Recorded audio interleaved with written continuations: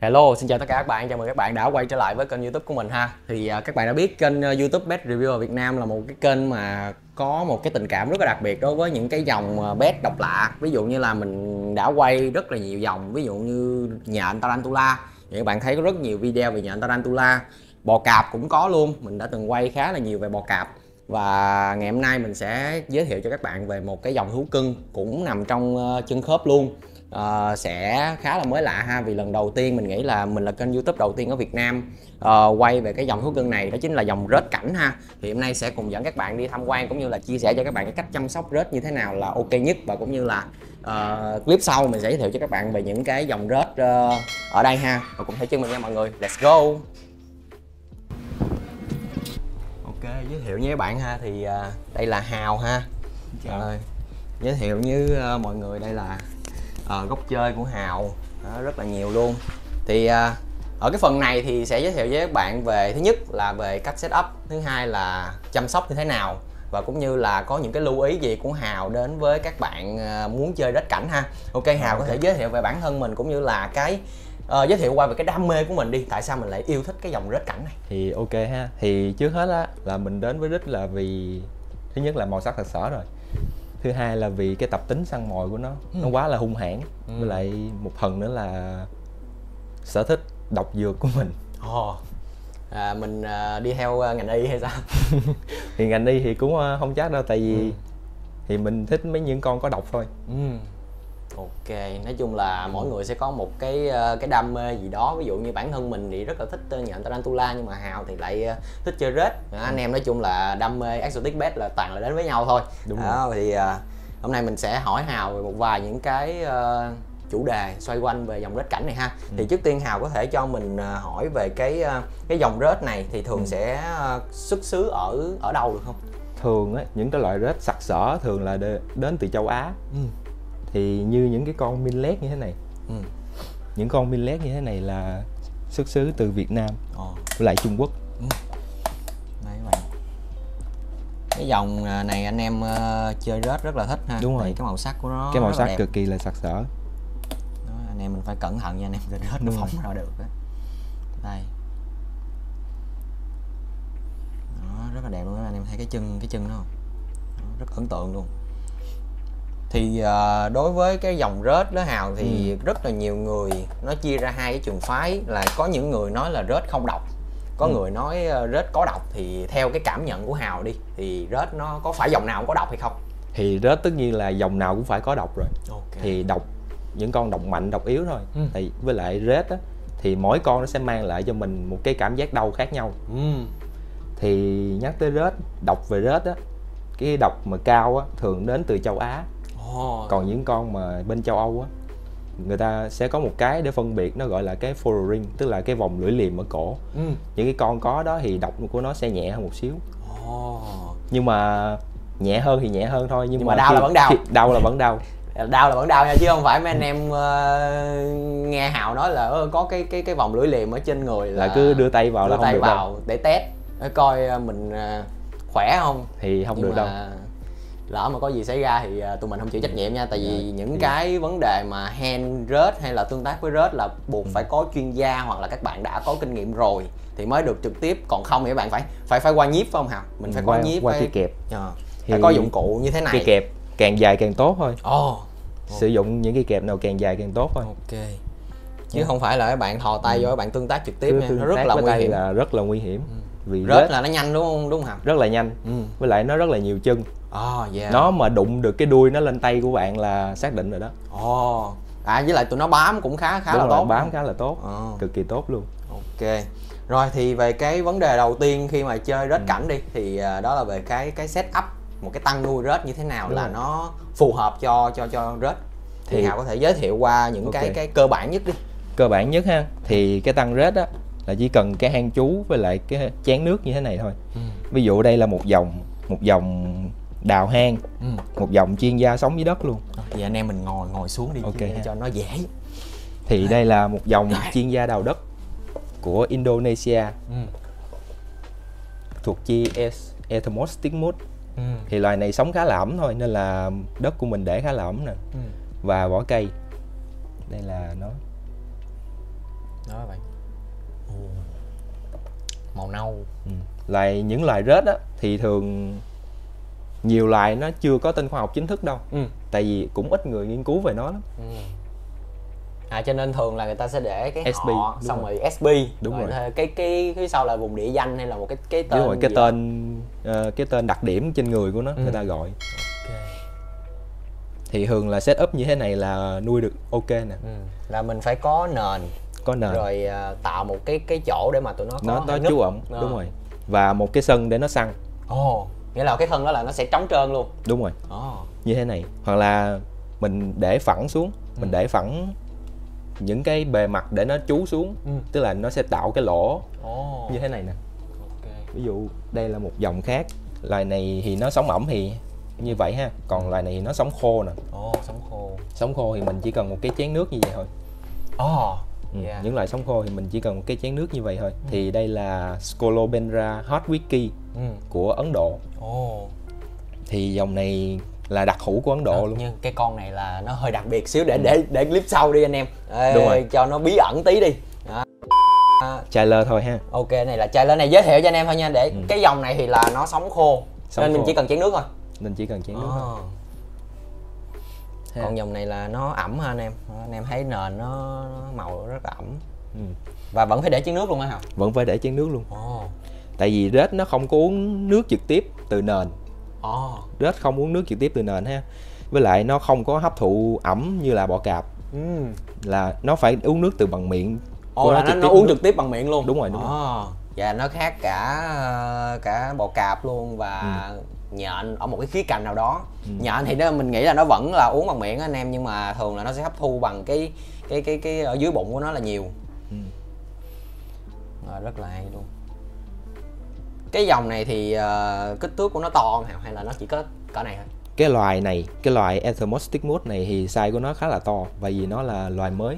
Kích thước ừ. cái loài này từng ghi nhận nha là có thể lên tới 22 cm wow. là chưa tính râu với đuôi luôn chưa tính râu luôn ừ. ờ, à, sẵn tiện thì mình hỏi về cái cái kích thước á, thì mình hỏi về cách đo luôn thì thường ừ. đo rớt á mình đo cái size của nó làm đo như thế nào thì ha đo size rớt á thì thường mình sẽ không có tính cái râu và cái đuôi mình chỉ tính từ phần đầu này từ phần ờ. đầu này xuống cái đít này thôi. À là chỉ chạm cái phần thân thôi. Đúng chỉ rồi. tính là phần thân thôi. Giãn ờ. ra kéo giãn ra xong đo phần thân thôi chứ không ờ. có đo đuôi. Sẵn tiện đây nói với bạn luôn là tốt nhất là các bạn đừng lấy ra đo bằng tay nha. Cái này là tụi mình đo theo cái kiểu là ước chừng thôi cho nên là mấy bạn nghe hào nói như vậy chứ cũng đừng có lấy về lấy thước dây đo nha. Nguy hiểm lắm đó. Ok thì đây là một cái setup gọi là ừ. cơ bản cơ nhất bản và nhất dễ làm nhất mình nghĩ là dễ làm nhất ừ. anh em có thể tạo một cái hang chú đơn giản do chính tay anh em làm ừ. hoặc là cái này mình để nó tự đào luôn cũng được để tự đào luôn vẫn ừ. được tại vì nó cái chi ethermod này là cái chi đào nó ở dưới đất không ok còn, còn có những còn có những dòng rết nào mà ví dụ như mình setup mà nó không không bao giờ đào không không bao giờ đào ừ. thì tới những dòng rết nó ở trên cây ừ. Ồ, có rết trên cây luôn à? Ừ, rết thường thấy ở trên cây chứ thường được tìm thấy ở trên cây. dưới đất thôi chứ. Nghe lạ quá anh em. Có rết đất và rết cây nữa. Đây à, những bên, cái dòng này. bên tarantula là chúng ta biết là có nhện đất nhện cây rồi ha. Hôm nay là có rết cây và nhện đất luôn. Thì à, rết cây và rết đất luôn. Ừ. cái dòng này thì nó không có đào đâu. Thường ừ. thì nó sẽ chui vào cái hốc cây hoặc là cái chỗ nào đó có sẵn để nó trú thôi. Oh. thì loại này là một biến thể màu của subspinip người ta hay gọi ở Việt Nam á. Người ta trong cái giới chơi Việt Nam người ta hay gọi là rau đen đó ừ. thì đây là một cái biến thể màu của nó oh. cái chân của nó đen hết đúng rồi đen thui luôn các bạn ừ. Vậy ha. Ờ, sẵn nói với các bạn luôn là nãy giờ các bạn thấy là hào thò tay vô để mà uh, xê dịch một vài những cái co ở trong tăng á, để mà cho tụi mình quay á thì cái này là tại vì hào là một gọi là keeper chuyên nghiệp và cũng như là đã biết được cái độ nguy hiểm của tụi rết này rồi cho nên là hào sẽ thao tác nó nó dứt khoát hơn và nó nó nhanh hơn một xíu. Còn mấy bạn ở ở nhà thì tốt nhất đừng có làm vậy ha mình nên có cái dụng cụ như nãy hào nói là phải có nhíp. Đúng rồi cái nhíp càng dài ừ, càng cái tốt nhíp càng dài ha thì, thì bạn thấy rết nó cũng gọi là dài lắm đó. thì rết á mỗi con nó sẽ chung một loài luôn. Ừ. chung một loài thì mỗi con nó sẽ tính khí nó khác nhau nữa. Oh. cho nên là những con rết của bạn như thế nào thì mình không có biết được. Ừ còn những con rết này thì mình đã nuôi rồi mình đã tương tác với nó nhiều rồi mình ừ, hiểu nó hiểu quá ừ. cho nên là cho nên mấy bạn phần cần phải cẩn thận nha. Ví dụ như bạn ờ, có một cái con rết mà nó tính khí nó hơi ờ, cọc một tí hoặc là nó nhanh quá thì các bạn cần phải có dụng cụ. Chứ các bạn thao tác mà lỡ có vấn đề gì xảy ra là đam mê đến đây là hết nha các bạn. Khả năng rất là cao luôn á. Ok. Okay. cái dòng cây thì ờ, mình vẫn gọi là nó sống khô luôn hả? Ừ thì nó vẫn hơi khô tí thôi. Ừ. hơi khô tí thôi tại vì thường á là nó sống ở trong mấy cái tán lá ừ. sáng thôi sáng thì ông không thể nào ông thấy nó đâu tại vì nó rất là ít khi ra ngoài buổi sáng oh, yeah. thường nó sẽ sống trong hốc cây ừ. cho nên là cũng khô vừa thôi chứ không khô quá okay. tức là một cái setup như thế này ha thì nó chỉ ẩm một phần ở bên chén nước thôi ừ. nó chỉ ẩm một phần bên chén nước còn bên đây sẽ khô khô nghĩa là cả những dòng mà cần ẩm và cả những dòng cần khô luôn đúng rồi oh. còn những cái loại như là min led á oh. đây tôi sẽ cho coi một cái setup sẵn của min led min led là nhiều anh em thích lắm ừ. sẵn đây thì giới thiệu cho anh em hai loại min led ừ. là hai loài khác nhau ồ oh. đây đây ha okay. thì lấy giùm tôi cái điện thì hai loài này đây là hai loài này đều có mặt ở Việt Nam hết nha. Oh. Thì đây là một cái setup cơ bản của Minlet thì ông có thể thấy là đất nó khá là ẩm nè. Ừ. Vì Minlet nó sống rất là ẩm luôn. Yeah. Đây. Ừ. Tấn thường. Rất rất là nhanh nha các bạn tụi này mà nó nó có thể dựng cái người nó lên để mà nó leo lên uh, cái hộp á cho nên ừ. là các bạn phải để cái hộp nó cao xíu nè chứ đó. Nó đu cỡ này. Nó đu hết luôn rồi. Đó. Và với lại những cái hộp chuyên dụng á thì nó sẽ có lỗ anh em cho nên là chân nó móc vô những cái lỗ như thế này á là nó cũng leo lên tới trên đây được luôn nha. Ừ. nên anh em thường phải thao tác cực kỳ là cẩn thận luôn. Và rớt thường là tụi nó nhanh lắm phải không hả? Đúng rồi rất là nhanh. Rớt nhanh cực kỳ như ông cũng thấy rồi đó. Dạ. Yeah. ừ. rất là đáng sợ luôn. Cái này mà mấy bạn mấy bạn nữ tốt nhất là đừng có đừng có chọt chọt nhiều. Tại vì thường mấy bạn nữ á, mình thấy á, nuôi uh, bét độc lạ các bạn không có gọi là làm dứt khoát đâu các bạn cứ chọt chọt vô xong rồi các bạn giật ra là lúc đó là thì... không thể nào mà phản ứng kịp đâu ừ. cho nên là mình cần phải gọi là cẩn thận một xíu đó, chỉ cần nhìn thôi chứ đừng có thao tác trực tiếp thì tốt nhất á, là các bạn nên nha nên sử dụng những cái tăng nào nó cao ừ, càng cao càng tốt càng cao càng tốt ừ. và không có vật thể để nó bám để nó leo ra ngoài yeah, yeah và tăng càng to thì sẽ càng tốt ừ. như những cái con mà mình nuôi ở trong cái hộp như thế này á là để mình thúc sai oh. thúc sai cho nó vì nó dễ kiểm soát hơn yeah. nhưng mà nuôi trong cái setup như thế này là mình tạo cái môi trường giả lập tự nhiên giả lập thôi oh. giả lập thôi để nó có thể gọi là nó mình nhìn đó, để xô á những trong cái tăng này là mình dùng để xô nè còn yeah, trong yeah. đây thì mình để thúc sai ừ, mình dễ yeah. kiểm soát cho nó ăn hơn ok nó đây là dòng min led ha. Ờ, sẵn hào cho mình xem gọi là cái cái cái sự khác biệt của hai cái dòng này đi. Ok ha. Đó, thì cái con này thì nó hơi lu bu xíu. hơi, uh, lăn xăng lăn xăng. Sung quá rồi. Thì cái cái con mà này mà nó như vậy là do nó stress hay là do nó nó nó sung hay là do nó một là nó đói bụng thôi hai Ồ. là nó đi tìm chỗ khác để nó nằm nó tìm cái chỗ thích hợp hơn để nó nằm xuống. Nằm mà cũng phải phải gọi là chọn chỗ á các bạn chứ không phải đây chỗ nào là... đây là một loại millet oh. hai loại millet này đều có Việt Nam hết ha ừ. thì cái loại này á cái chân của nó sẽ mỏng hơn ừ. mỏng hơn cái loại còn lại thì hai tôi nó là loài khác biệt với nhau nhưng oh, mà họ yeah. thường nhầm vẫn là millet tất cả thôi ừ. thì xét về cái gai đuôi á cái số lượng gai đuôi của con này nó nhỏ hơn ừ. nhưng mà vị trí phân bố gai đuôi thì nó vẫn y chang thôi ừ. thì người ta thường quan niệm rằng cái loại này là loại subspinip millet ừ. nhưng mình thì mình không nghĩ là subspinip đâu mình thì thường là người ta cứ kêu sp thôi ừ. vì nó chưa có tên khoa học chính thức á oh yeah uh-huh. mấy bạn mà chơi rớt là sẽ ờ, rất là ít khi thấy một cái cái con nào đó mà có một Đúng cái rồi. tên khoa học hoàn chỉnh à. vì nó rất Gần là như là người ta chỉ đặt theo địa danh người ta phát hiện ra cái dòng đó thôi đúng rồi hoặc là đặt theo tên theo cái tên người à, của nó. người phát hiện. Hoặc là cái chi tiết trên người của nó ra sao đó. Thì đây là cái loại millet thứ hai mình có ở Việt Nam ha. Ok. Đây. Một loại này thì khác biệt quá ta. đúng rồi. Loại này thì thường được thấy cái màu của nó nhạt hơn millet mình yeah, con millet dưới. Đúng rồi, đúng với lại cái đuôi của nó hơi ngắn hơn nè và gai của nó to hơn. Ui, ui, ui, ui. rồi bây giờ sẵn hào chỉ các bạn cách handle ờ, gọi là những cái trường hợp giống vậy ha. À không thì thường con này thì không chưa vẫn chưa handle được đâu. À không biết là đảm bảo là xử lý ừ, xử lý những cái tình huống thôi. thì trước tiên là các bạn cũng không có nên hoảng trước phải bình tĩnh thôi. Đúng rồi mấy bạn rồi xử lý, xử lý mấy con exotic bed đó mấy bạn đừng hoảng nha. Hoảng là mình sẽ càng rối đó. Đúng rồi. Rồi. Thì cái loại millet này á nó sẽ cái chân của nó cái chân của nó sẽ to hơn con ở dưới một xíu và ừ. ngắn hơn. Và cái người của nó sẽ lực hơn một xíu. Cái người của loại này sẽ lực hơn. Ừ. Và cái chân của nó nhìn nó cũng cũng gọi là có có có da có thịt hơn xíu. đúng rồi đó đúng rồi. Con nãy thì nó khẳng khiu hơn. Ừ. cái con ở dưới á thì các bạn sẽ thấy là cái bên hông của nó cái bên hông của nó bên đây nè ừ. nó sẽ tối màu hơn nó sậm màu hơn. yeah. còn con này thì nó trắng Sáng màu. hơn. Ừ. Là mình nhìn giống như là mình tưởng lúc nãy con này là nó mới lột hay sao á nhưng mà nhìn nó trong cái người nó trong đó các bạn nãy rồi. hào rọi cái đèn cho các bạn thấy ha cái đầu nó. Nhìn nó nó, nó như mới lột vậy đó. Đó. Này nhìn giống như là mấy con mà fresh mode mới mới mới lột ra vậy ừ. còn con kia thì nhìn nó da nó khô nó già hơn con kia nó tối màu nó hơn. tối màu hơn yeah. thì có cây kẹp như thế này thì các bạn rất là dễ xử lý luôn đó lý do tại sao mà nãy hào nói là phải cần một cái nhíp càng dài càng tốt ừ. cho mấy trường hợp giống vậy nè những cái con rết mà càng dài thì bạn có cái nhíp càng dài nó sẽ càng dễ xử lý hơn rồi cho vô đi hào mình à, okay. tiếp tục tiếp tục nha rồi thì đó là về những cái setup uh, cho rết cảnh và cũng như là cái điều kiện uh, chăm sóc uh, rết cảnh. cơ bản. Thì uh, về uh, lúc nãy chúng ta nói về cái độ ẩm rồi thì tùy dòng rết chúng ta sẽ có những cái độ ẩm khác nhau. Đúng rồi. Ờ, cái nữa là về nhiệt độ đi. Nhiệt ừ. độ để nuôi tụi này thì nó có khác biệt hay không hay là tất cả đều chung một cái mảng nhiệt luôn? Thì nói chung á là rết thường nó sẽ sống từ nhiệt độ 25 25 tới 28 độ 25 tới 28 độ ha thì mình sử dụng cái nhiệt độ này mình có thể nuôi hầu hết tất cả các loại rết luôn ừ. nhưng có một số loại á, như là một số loại đi ừ nó sẽ cần cái nhiệt thấp hơn ừ. vì nó cần ngủ đông oh.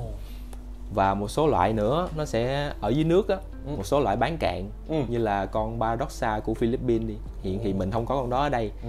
nha thì cái loại đó nhiệt độ rất là thấp luôn nhiệt độ phải dưới 20 độ mới nuôi được loại đó và ông cần phải set up một cái tăng vừa có suối vừa có dòng chảy và nước phải sạch. À là làm hẳn nguyên một cái cái terrarium đúng luôn. rồi đúng rồi. À, một cái dạng hồ mà bán, bán tự nhiên đó các bạn. Là vừa có một cái cái cái hệ thống gọi là nước và cũng như là ở trên cạn luôn để cho con rết nó con rết đó thì uh, hồi xưa mình cũng không có được biết ha là nó nó nó lội dưới nước luôn á anh em. Lần đầu tiên mình thấy con rết con rết đó mà ví dụ anh em mà chơi nước để mà nhấn nó chắc không không không không được đâu.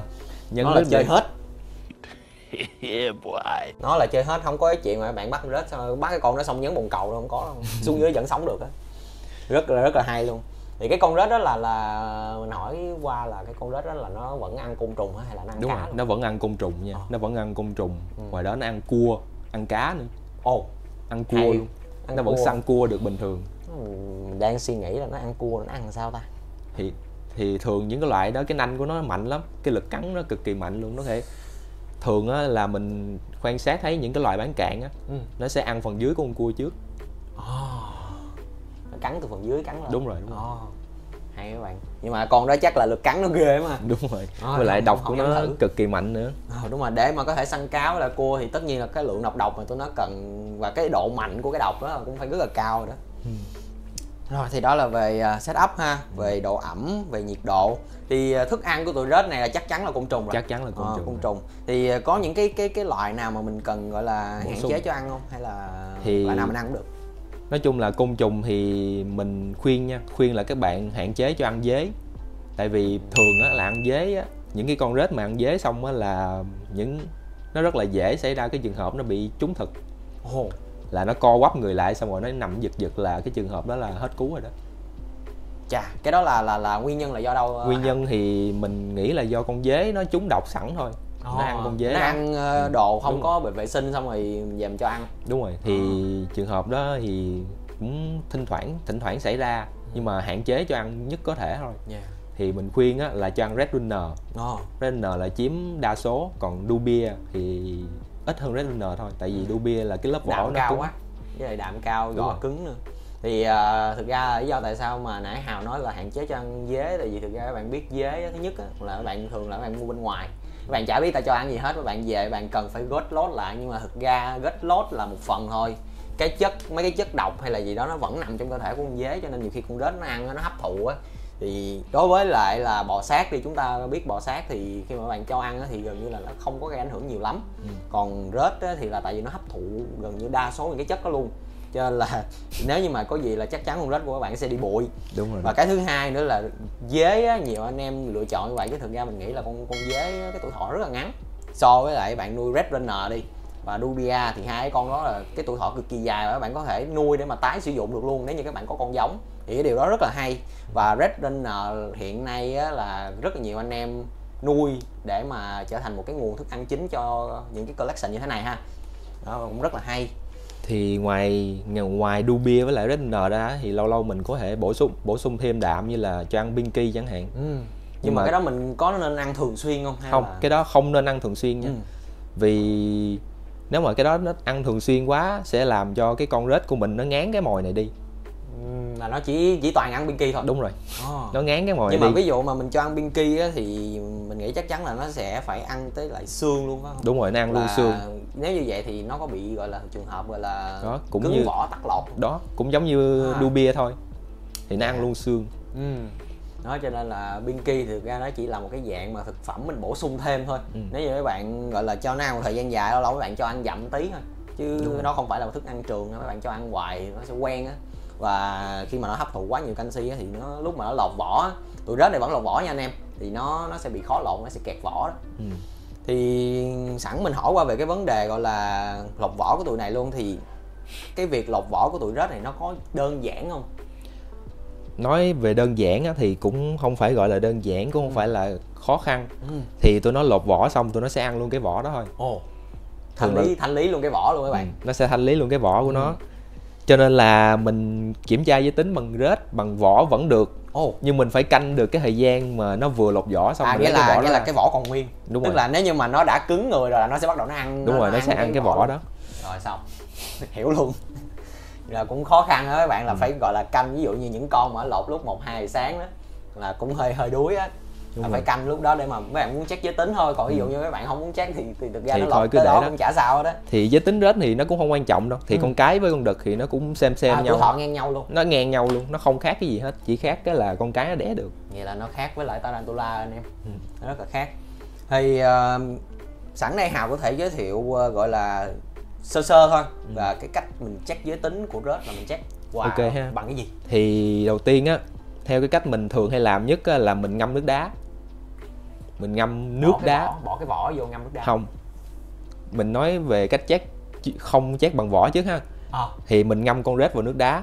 Lúc đó nó sẽ rất là chậm thôi nó chậm rì luôn nó không làm được cái gì hết. Những đối với những bạn gan tay á à, thì là dạng giống như là mình làm cho nó đông cứng cái người đó lại xong rồi nó bị cứng cơ rồi nó không nó, nó cứng cơ nó không hoạt động được nữa. Đối với những bạn gan tay thì mình một tay cầm mình một tay mình bóp cái phần cái phần hậu môn của nó ra. À. bóp cái phần hậu môn của nó ra thì mình có thể xem được được cái Ồ. còn mà chết bằng sát thì nó rất là dễ rồi mình kéo giãn ra rồi mình bóp ra thì nó vẫn rồi cái cái bộ phận đó thôi. Ồ.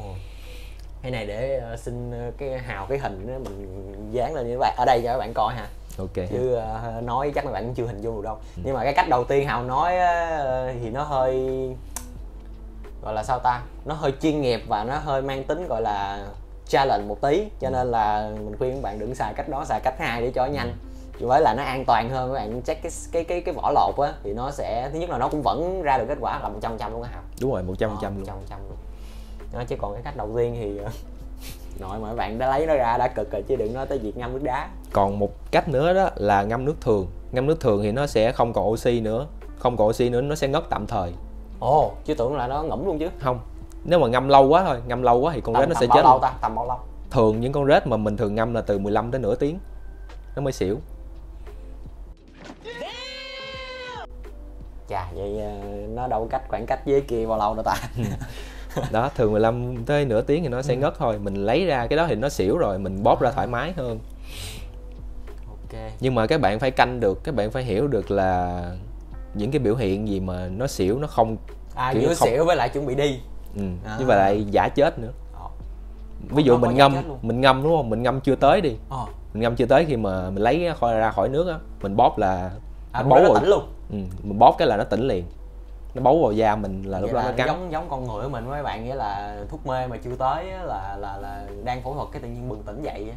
Ừ. đó cho nên là cũng gọi là khá nguy hiểm cho nên thôi mình nghĩ là các bạn nên check uh, Nhận vỏ lột đi cho nó nhanh. Đúng rồi. Chứ cái kia thì uh, thực ra là dân dân mà như ví dụ như mấy anh em chơi như hào đi uh, là chuyên nghiệp rồi. Chúng ta biết được là cái con đó cần bao nhiêu lâu và tới lúc một lúc nào đó mà có những cái biểu hiện nào là nó đã chìm vào gọi là Giấc hôn mê đó. Ờ, thì mình có thể thao tác được. Còn ví dụ mấy bạn mà còn gọi là lớn ngớ lớn ngớ thì các bạn tốt nhất đừng nên làm cách đó. Ừ. nguy hiểm lắm. Rồi ok. Thì à, chúng ta có uh, set up rồi ha. Ừ. về à, Thức ăn thức ăn nhiệt độ độ ẩm. Rồi chắc giới tính luôn. Ừ. thì à, nói chung là trong cái cái môn chơi rết này thì à, nó có những cái gọi là những cái căn bệnh nào không hào căn bệnh thì có chứ. Ừ. căn bệnh thì có đầu tiên là mycosis thường Ừ. gọi là nấm á bệnh nấm Ồ. cái bệnh đó thì do cái đất của các bạn sử dụng Ừ. cái đất của bạn sử dụng thì khi mà con rết nó ăn á Ừ. thường nó cắn những con gián với lại những con cái đồ ăn của nó thì cái phần máu phần dịch của những cái loại đó sẽ hòa ra đất ừ, hòa ra đất để lâu ngày á nó sẽ sinh ra cái nấm Ừ. mà cái nấm đó mình không có thấy được bình thường đâu không thấy bằng mắt bình thường những cái con rết này nó sẽ nhiễm cái nấm đó Ừ. trường hợp thường thấy là nó có những cái chấm màu đen những cái chấm màu đen trên chân hoặc là trên người của nó Ừ. thì cái chân của nó sẽ từ từ nó rụng hết. Thì cái bệnh đó thì rất là khó khó khó để cứu hầu như là chết 100% luôn á. À nghĩa là khi mà mình đã phát hiện ra là đã, đã, đã nặng rồi. Nặng lắm rồi thì nếu mà nhẹ thì vẫn giữ được ha nếu mà nhẹ thì cái bạn giảm độ ẩm xuống Ừ. giảm độ ẩm đất xuống. Bạn thay đất mới giảm độ ẩm xuống thì cái bạn cho nó ăn kiểu như là nuôi và cầu mong cho nó lột sớm nhất có thể. Ừ. thì có thể cứu được nó à nghĩa là nó lột là nó sẽ nghĩa là Ừ. mình vừa giảm ẩm và mình chờ nó lột để là nó nó lột khỏi cái cái cái cái lớp nấm luôn. Đúng rồi đúng rồi. À. nhưng mà chắc chắn là lúc đó là cũng mất một vài chân rồi đó. Khả năng là mất một vài chân rồi. Chính xác. Rất rất là chua. Nhưng mà ví dụ như tụi nó mất chân thì tụi nó có mọc lại được không? Mất chân thì vẫn mọc lại. Ừ. nhưng mà nó sẽ cần cỡ 2 tới 3 lần lột nữa để cái chân nó đều. Tại vì à nó sẽ mọc từ từ từ từ từ Đúng rồi. À. với lại tùy thuộc vào chế độ dinh dưỡng nữa. Nếu mà con rết nó ăn ít quá thì cái chân của nó sẽ không có kéo được nó Ừ. sẽ bé tí à kia là phải lột nhiều nhiều nhiều lần nữa nó mới đều được À. những cái hàng chân tại vì mỗi lần lột là cái chân nó sẽ bự hơn ừ. là cái chân nó sẽ bỏ những cái chân mà bị mất á Ừ. nên là cái chân bị mất nó lột nó không có theo kịp những cái chân lớn cho nên là chế độ dinh dưỡng lại cho ăn nhiều cũng khá là quan trọng Ừ. À, ngoài ra mình còn những cái bệnh nào mà mình cần lưu ý nữa không ừ, bệnh cần lưu ý nữa là cái bệnh ứ nước của con rết là do ẩm quá nhiều của cái loài đó nó chịu được Ồ, Thì nghĩa là thường- mình mình cứ xịt hoài nó Ừ, cứ, cứ xịt hoài cứ ẩm Ờ. hoài ẩm hoài vậy đó thì ẩm nhiều thì nó đã không tốt rồi Ừ. những cái trường hợp thường thấy là con rết nó bị phồng cái người nó lên nó phồng trắng cái người nó lên một Ừ. vài đốt á Ừ. nó phồng trắng cái người lên thì cái trường hợp đó cũng khá là khó để cứu là tại vì nó ảnh hưởng vô bên trong cái vỏ Đúng rồi, rồi, mình không có ảnh thể hưởng nào bên trong được. Thì cái hình đó mình sẽ gửi cho bạn ừ, ok để bạn up lên cái ha này hẳn ờ, mình cho bạn coi cái hình để mà các bạn biết được cái biểu hiện đó để các bạn cái cái đó thường ví dụ như mình phát hiện sớm á là mình hạ độ ẩm xuống là còn cứu được không ừ. nếu mà phát hiện sớm thì cái đó cũng khá là khó để phát hiện tại vì nó như con rết như bình thường vậy thôi một ngày đó nó phồng lên ừ. nó phồng lên liền luôn Ừ. nên là khá là khó cứ đề phòng phòng bệnh hơn chữa bệnh thôi Ừ. Nghĩa là các bạn ờ, không có phải là cứ ngày nào cũng lấy ra xịt ẩm ngày nào cũng lấy ra xịt ẩm cái đó là điều không tốt ha mặc dù là rết là nó cần ẩm để mà nó nó duy trì ờ, cái cái cái sức sống cũng như là cái lúc mở lọt thì nó cũng cần ẩm một xíu. Nhưng mà các bạn xịt quá tay á, thì nó sẽ ảnh hưởng đến cái cái sức khỏe của tụi nó ha. Cho nên là vừa vừa thôi là được đừng có quá tay. Ok thì ngoài hai căn bệnh đó ra thì mình còn cái căn bệnh nào mà gọi là còn một cái gặp nhất? thường gặp nhất á, là con rết nó quá đói tức là cái người của nó xẹp lép luôn. Ừ. nó xẹp như là cái tấm bài luôn rồi đó. Hả. Đó thường là những cái trường hợp đó thì mình vẫn có thể cứu được nhưng mà rất là hy hữu thôi. Ừ. khó rất là khó Nhưng mà để thường cứu. cái nguyên nhân để gây ra cái việc mà nó Thì- bỏ ăn là gì? thường những cái nguyên nhân mà bỏ ăn là do không đúng môi trường. Ừ. không đúng môi trường là cái nhất. Thứ hai của nó là nó bị nấm. Bị Ừ. nấm ở trong cái phần hô hấp của nó rồi chứ không phải là bị nấm ngoài nha. Ờ. Nấm trong phần hô hấp á, thì nó sẽ bỏ ăn nấm bị rết mà cũng bị ờ, nghĩa là rết là nó vẫn sử dụng lỗ thở nếu mà Đúng nó, rồi. nó hô hấp đúng rồi là nó bị nấm vô mấy cái chỗ đó đó này dạng giống viên nấm á các bạn nó nó nó ảnh hưởng vô bên trong luôn ừ. Ờ, thì uh, trước đây thì quốc cũng có nghe về cái rất là nhiều anh em newbie gọi là chơi rớt thì họ nói là rớt nó hay dễ bị stress thì đối với hào thì hào có thấy cái trường hợp mà rớt bị stress và bỏ ăn luôn không rớt bị stress bỏ ăn thì có ừ. có nhưng mà nó không có stress kiểu như nhện đâu ừ. nó vẫn ăn thôi. Ví dụ như bây giờ ha con rớt nó bị stress đi ừ. thì cái ông muốn nó ăn đúng không? Thì nó thấy nó ốm rồi mà ông muốn nó vẫn ăn. Thì bây giờ ông cắt cho con dán á nó lòi cái phần dịch đó ra thì ông đưa gần cái miệng nó là nó ăn thôi. Amazing. Good job em. Oh. chứ không hẳn là bỏ ăn nha. Ừ. nó nhưng mà thường ví dụ như stress là nguyên nhân là thường là do đâu ta? Thì như mình nói thì do môi trường. Ừ. do môi trường là nhiều nhất thôi. Môi trường. Ừ. tức là mình set up nó không có đúng với lại cái của nó hay là nó lạ môi trường ta? thì lạ thì chắc chắn là lạ rồi mới về nó sẽ lạ với lại cái tâm thế của nó là nó sẽ đi tìm cái chỗ trú trước ừ. rồi kiếm kiếm ăn sẽ kiếm ăn sau oh, yeah cho nên là lúc nãy hào có nói là mình cần phải set up một cái hang trú ha cho nên ừ. là nếu như các bạn chưa có hang trú thì các bạn uh, mình lấy cái vài miếng lá đó, hoặc ừ, là lá gỗ. hoặc là gỗ ừ. Hoặc là thường thấy nhất là mình dùng cái tấm gạch. Ừ. những cái uh, gạch uh, cái đó gọi là cái gì ta? Của cái, mấy cái chậu cây bị vỡ á. À mấy cái miếng uh, miễn của chậu cây. Đúng rồi. À. thường mình dùng mấy cái đó. Thì mấy oh, cái đó yeah. nó giữ nhiệt độ cái đó nó làm mát. Cái đó thì thường á là nó rất là mát nó mát hơn tấm gỗ nhiều. Cực kỳ thuyết phục. Nhưng mà dùng cái đó nó có một cái nhược điểm là như vậy thì con rết nó hay bò ra bò vào ừ. thì cái người của nó sẽ cạo vào đó. Cái người của nó hơi chảy xíu. sẽ bị chảy ừ, bị chảy một xíu nó ví dụ còn... như mình chịu khó mình mài mấy cái cái cái ừ. góc mà nhọn đi thì chắc cũng được. Được ừ. vẫn được. Bị chảy thì nó không ảnh hưởng gì nhiều nhưng mà nó hơi xấu con rết nó không có được bóng lưỡng như vậy. Nhưng mà ví dụ chảy như vậy thì ví dụ như mà có hay bị nấm lên không không sao. À, ví dụ như mà mình mình đảm bảo được cái độ ẩm phù đảm bảo được độ ẩm phù hợp là không bị. okay.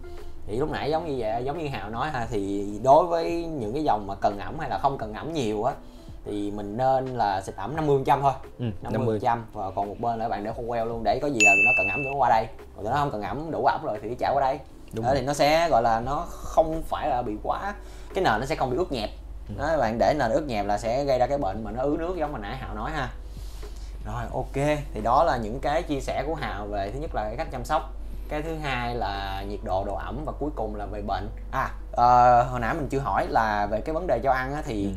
một tuần mình cho ăn bao nhiêu lần một tuần á đối với những con rết những cái, từ cái size từ cái size này đi từ ừ. cái size này trở lên ừ. thì mình một tuần mình có thể cho ăn hai lần được ừ, một tuần ăn hai lần ừ. thì đối với những con rết mà mình nói về thúc size á ừ thì một tuần mình chỉ cần cho ăn một lần thôi nhưng mà một lần đó mình cho ăn rất là nhiều thì thúc sai á mà các bạn cũng phải canh nha. Ừ. là khi mà con rết nó ăn quá nhiều rồi nó sẽ căng phòng cái người nó lên rồi. Ừ. thì nếu mà bạn muốn cho ăn tiếp á thì nó sẽ chết. Nó ăn nhiều quá à, nó, nó sẽ không nó tiêu hóa quá được. tiêu hóa ừ, nó quá nó không tiêu hóa được. Giống như con người mình mà ăn quá nhiều á là dễ bị bội thật đó anh em. Ừ. hay ói ra đó là vậy đó. Đó thì con rết nó không có ói được. Cho nên là Đúng nó rồi, sẽ nó, chết. nó dồn chứ nó không có ra đâu ừ. các bạn. Cho nên là rết nó không có cái cái cái tuyến để mà nó ói ngược ra ừ. cho nên là mấy bạn cho ăn gọi là vừa vừa thấy nó quá mập rồi đó cái cái người nó bự ra rồi á là bạn phải ngưng cho ăn chứ bạn cứ càng đút càng đút á là là tới lúc là nó vỡ nội tạng luôn nha thì khẩu phần ăn của rết thì các bạn nên kéo giãn ra thôi một ừ. ví dụ một tuần mình cho ăn hai lần ha thì ừ. một lần mình cho ăn tầm cỡ 5 con red runner size bự ừ một lần cho ăn như vậy à. ví dụ như ví dụ như thay vì mình cho ăn tuần hai lần ừ. mỗi lần mình cho ăn 4 ờ, đến 5 con ừ. ví dụ như ngày nào mình cho mà cho một con là được không không như vậy thì không được nữa tại vì nó quá cận kề nó không có tiêu hóa được nữa tại vì rết à. nó cần một khoảng thời gian nữa để nó tiêu hóa à, nó thải cái nó dồn một lần xong ừ. rồi nó sẽ ngồi đó nó tiêu hóa nó nghĩ nó tiêu hóa tiêu hóa tiêu hóa đúng rồi, rồi. nó thải ra xong ừ. mình mới cho ăn tiếp đúng rồi à. còn mà nó ăn nhiều xong rồi chưa kịp tiêu hóa ông lại đút nó ăn tiếp ừ. thì lúc đó nữa ừ nhưng mình cứ nghĩ là mình cho nó ăn ví dụ ngày cho một con một con rồi mỗi ngày là một con đó các bạn. Nhưng mà kiểu đó thì hào nói là nó không không không tốt hơn như là giống như là nó đang ăn con xong nó chuẩn bị tiêu hóa rồi đang nghỉ ngơi tiêu hóa tự nhiên miệng sao thấy đồ ăn tiếp nó chụp tiếp. Đó rồi là đồ ăn mới đồ ăn cũ luôn rồi cứ nằm trong con rết nó nằm hoài là, là nó không tiêu hóa được ha. Nên là thôi kệ cho một tuần hai lần lần bốn năm ừ. con đi anh em. Rồi nó nghĩa là nó dồn một lần nó tiêu hóa một lần luôn. ừ đối với những con rết á, mà các bạn muốn nhìn thấy nó khỏe mạnh hay không á ừ. thì các bạn nhìn thấy là nó đi phân nhiều nó đi ừ. phân nhiều là do nó đúng chừng đúng cái môi trường của nó rồi đâu đâu cái hào hào cho mình xem cái phân của nó để để để cho anh em coi để anh em okay, biết ha. phân của nó dễ thấy không ta phân của nó cũng khá là dễ thấy đó ừ. thì nó như phân chuột vậy đó ồ oh. đây có một con này cũng khá là đúng môi trường con này là con hai nanh nầm của à. Trung Quốc à cái con mà chân hổ không ta? Đúng rồi con chân hổ nhưng mà mốt này là mốt màu mốt đen. màu đen à. ừ. uh. đèn đẹp lắm mày. Đây. À phân đó kìa. Đây đúng rồi đó, phân. mấy cái, mấy cái cục màu phân của nó đây. Ok và mấy cái cục này luôn hả đúng rồi cục này nữa. Đó. Ừ đúng như phân chuột luôn các bạn. Đây nè. Chắc tại vì nó nó nó người nó to nó tạng người nó to cho nên mình thấy được cái phân của nó hay sao mấy con nhỏ chắc hơi khó thấy xíu đúng rồi những con nhỏ nó rất là khó thấy luôn ừ. cái phần của nó nhỏ xíu như nó hòa với đất luôn ừ. thường ví dụ như mà như nãy uh, hào có nói đi ví dụ như mà đất của mình mà nó bị uh, dơ do là tụi nó ăn tụi nó bóp cái dịch ra nhiều xuống đất á ừ. ví dụ mình có nhà mình có spring tail đúng rồi mình cho xử lý spring tail vô thì ví dụ như nó xử lý được hết được chắc mình cũng không cần phải lo cái, cái đúng rồi đúng rồi thì spring tail nó sẽ xử lý được những cái đó nhưng mà ừ. một phần thôi ừ. một phần thôi cho nên là mình phải kỹ cái vụ là khi nó ăn á ừ. những cái đồ ăn dư như là cái chân hay là cái gì của con dán á ừ. nó rơi rải ra thì mình sẽ lấy mấy cái đó ra liền ừ. sau khi ăn sau khi nó ăn xong mình sẽ lấy mấy cái đó ra liền yeah. à, tụi này nó sẽ không có ăn gọi là ừ tất cả như là nhện nhện nhện thì mình thấy là tụi nó ăn rồi nó gặm cả vỏ luôn. Còn rết này chắc nó chỉ hút cái dịch thôi chứ nó không, không có ăn cái vỏ. nó không có hút cái dịch nha nó ăn luôn vỏ luôn tức là nó ừ. ăn tươi luôn nó nhai tươi luôn à nhưng mà nó nghĩa là sẽ rơi rụng cái chân ra. nó sẽ à. rơi một vài thứ ra. Yeah, yeah. vậy là nó cũng như nhau luôn nó không khác gì. Ừ. thì lúc đầu mình cứ tưởng là nó nó bóp cái dịch ra là nó nó hút cái dịch nó vô chứ. Rất là con này đẹp lắm các bạn. Ừ, con này rất là đẹp luôn. Phun đen thấy con này cái cái dòng uh, Hanainum là nó nó kiểu cái tính của nó đậm hơn những cái dòng mà mình từng thấy hay sao đúng rồi tính nó rất là đậm nó rất là đậm tại vì một còn một điều nữa là những con rết ở vùng lạnh đó ừ. Millet thì mình không nói vậy ha tại ừ. vì nó là cái con khó hiểu lắm rồi thì những cái con những cái vùng lạnh như là con này ừ. bên Trung Quốc á, nó sẽ đi rất là chậm đi chậm cực kỳ luôn ừ. còn khi mà về nóng rồi á, thì nó sẽ nhanh lên giống gì nè đó nó giật nó giật cũng, vậy nó cũng nó cũng đúng chậm luôn. Đó nó sẽ chậm rất là chậm. Đó. Thì cái tuổi này cũng khá là dễ nuôi cho những cái bạn newbie mà mới bắt bước vào mà nuôi rít á. Ừ. vì màu cũng khá là đẹp. Ừ. to đó bạn.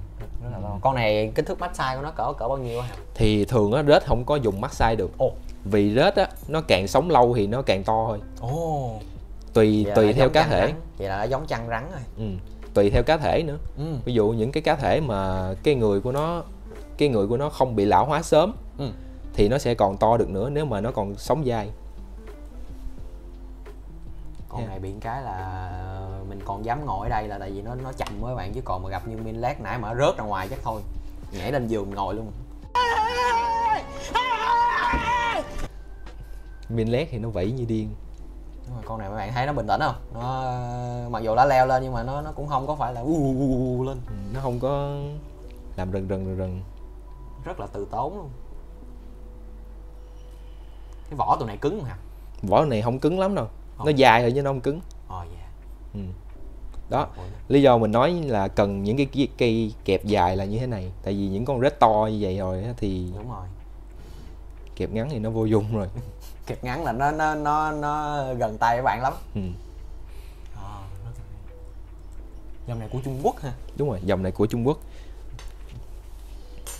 Trung Quốc là toàn dùng rết để làm thuốc thôi nha các bạn. Còn Việt Nam mình là mua rết Trung Quốc về để chơi kiển. Nó rất là hay luôn. Một cái chân nó bạn thấy cái chân của nó? À cái dòng này mặc dù là black nhưng mà mình thấy cái chân của nó vẫn vẫn vẫn có ừ, hoa văn vẫn, vẫn có hoa văn vẫn gọi là nó sọc. Ừ. to ghê bạn. Cái nành đút to. Hai cái nành ngay cái đầu á nam quay được. Đó. Ừ. còn đó. một cái lưu ý khi nuôi rết nữa là các bạn không có nên cắt nanh ha. Yeah cái cái vấn đề này thì uh, rất là nhiều anh em chơi rết chuyên nghiệp đã nói rồi ha. Ừ. thì giống như là con bò cạp mà cái cái cái đuôi của nó là vũ khí săn mồi mà các bạn đi cắt cái đuôi của nó vậy hoặc là nhện mà các bạn bẻ nanh của nó thì thôi. Rắn mà bạn bẻ nanh thì thôi chả biết nó ăn kiểu gì thì thực ra cái đó là cái cái cái cái cơ quan trên cơ thể của nó các bạn và cũng là cái cái cái cái công cụ để mà tụi nó tìm kiếm thức ăn. Các bạn uh, tước đi của nó chẳng khác nào các bạn đang uh, đưa nó về dồn dồn nó vào uh, con đường chết kìa. con đường chết cả.